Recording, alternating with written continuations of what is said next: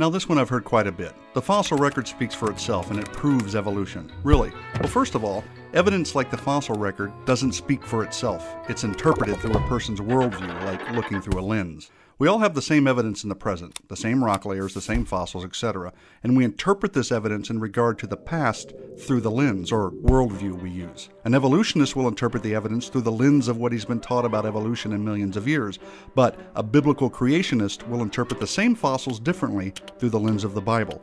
Now, both are looking at the same evidence in the present, but both are interpreting it very differently. So, looking at the fossil record in the present, because that's all we have, and interpreting it through the lens of God's Word, we find that what we actually observe in the present confirms the interpretation obtained by looking through the lens of the Bible.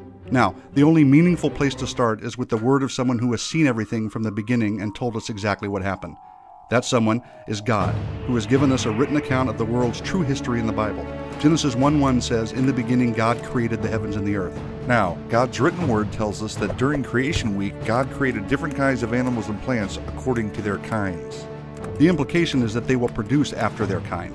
That's exactly what we see today, isn't it? An elephant produces an elephant, a dog produces a dog, and on and on. Now, on the sixth day, man and woman, Adam and Eve, were also created, and God declared everything very good. It was complete and perfect, and there was no death because there was no sin. Later on in Genesis chapter 3, it is revealed that the man and woman, being tempted by the serpent, rebelled against God, broke his command, and sin and corruption entered the world. In fact, the entire creation was altered and is no longer in its originally perfect, very good state. People and animals began to die. But could gradual death in such a short period of time account for the fossil record we observe today?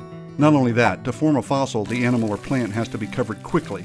And since we find billions of fossils all over the world today, something that could have killed billions of things rather quickly had to have occurred. Not to mention, we also find many fish and other marine fossils at the tops of today's mountains. So, what in the Bible could account for that?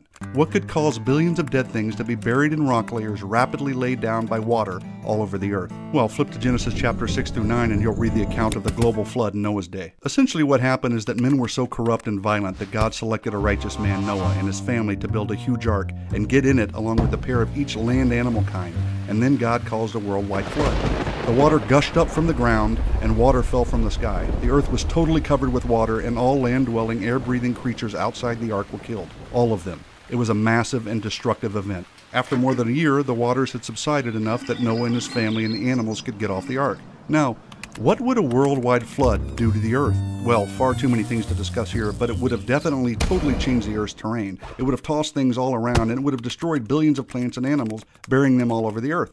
So, based on the biblical worldview, we know that God created everything and it was perfect. But because of man's rebellion, people became corrupt and all kinds of things began to suffer and die.